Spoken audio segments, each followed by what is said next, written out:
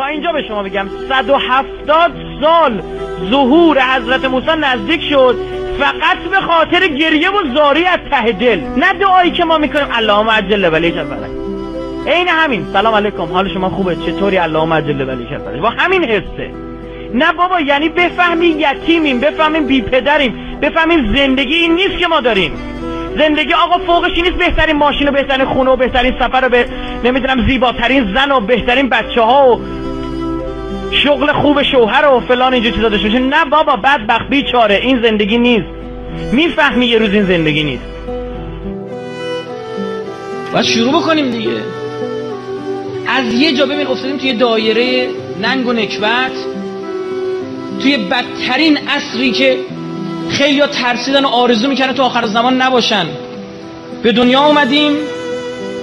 از این بعد باید شیرینیشو بچشی بابا. شیرینیش اینه که بتونی به ظهور کسی برسی که امام صادق گفت ای کاش من می‌تونستم خدمت او بکنم.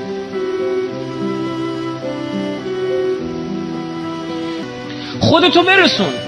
بقیه هم باد نیومدن مهم نیست. تو خودت برسون خودتو. حضرت اگر ظهور نکرد بر تو ظهور می‌کنه. تو خودت بهجت شو برای خودت. با کسی چی کار داری؟ بسم الله ما میگیم با هم انتقوم لله اول مسنا پایه نبود مسنا دوتا. نیست؟ و فرادا تکشی میرم جلو.